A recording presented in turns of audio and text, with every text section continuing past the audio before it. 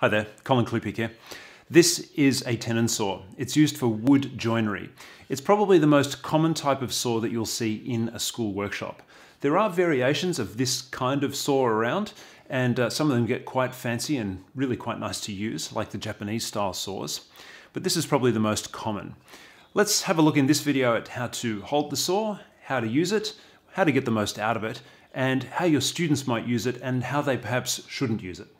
The tenon saw is used for cutting simple wood joinery, and we'll use this corner half lap to demonstrate. Firstly, how do you hold the saw?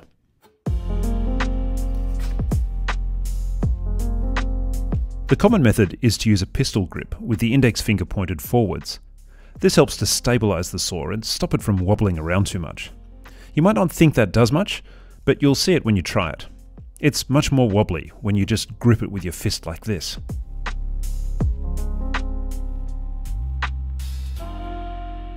Students will often use a double-handed fist-like grip, which actually tends to make that worse. Then you'll often see them try to attack the timber with all kinds of problems. It's just not very stable.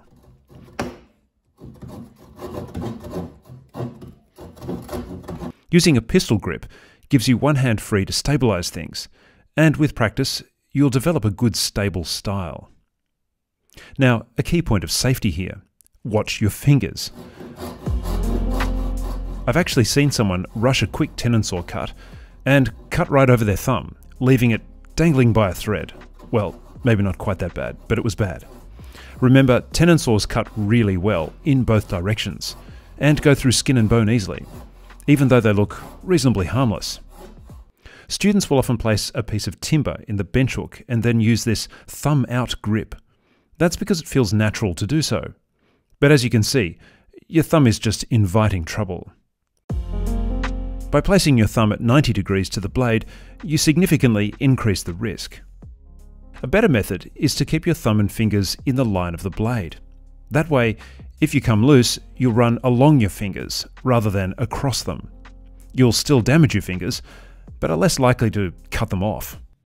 This reverse angle shows you that using this method keeps your fingers well away from the teeth and can actually help you to steady the blade. Sorry about the shaky footage, but the camera was on the bench. The next thing to watch is that you make a straight cut.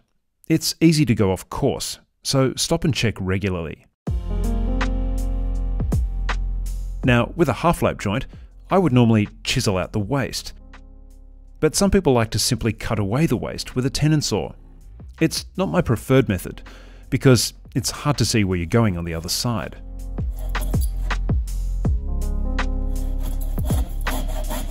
Students then also tend to get a bit overzealous, use the double-handed grip, and then really go for it.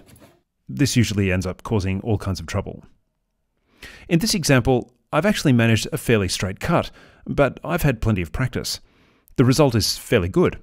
But you can see here that it's easy to go too deep.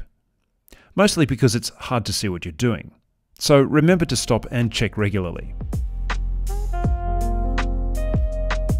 The saw cut marks can also leave the surface a bit rough, which you can clean up with a chisel, preferably a nice wide one. But like I said, I'd prefer to chisel the joint from the start, but that's just me.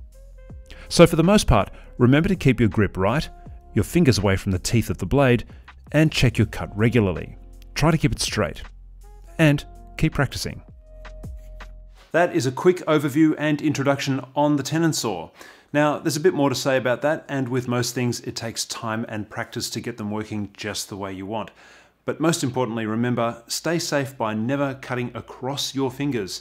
Try to keep your fingers in line with the cut. That won't necessarily guarantee safety, but it will do a lot less damage than if you went straight over the top of them. So, keep that in mind.